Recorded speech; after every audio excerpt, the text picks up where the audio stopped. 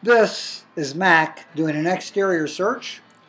We have seven hides set out, six of them paired, one of them inaccessible.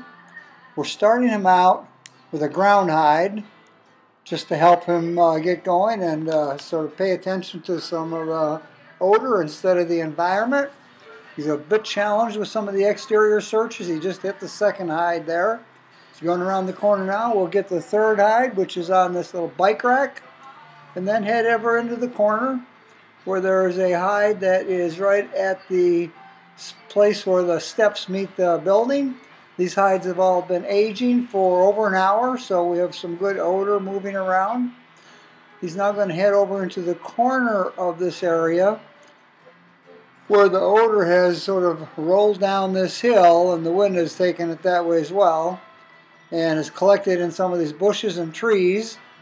The hide itself, inaccessible, is under one of these uh, irrigation kind of covers and so you'll see him in a moment come up and it's pretty clear once he gets right next to it that he is searching for the odor.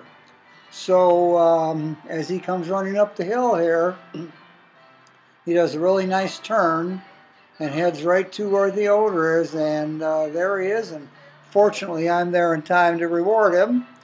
He's then going to head over towards the building where there is one right on the side of the building. Kind of goes around it where the odor has been or is, then sources it, and he gets another little reward there. He will be heading off now, spending some time on this flower uh, bed, this flower box.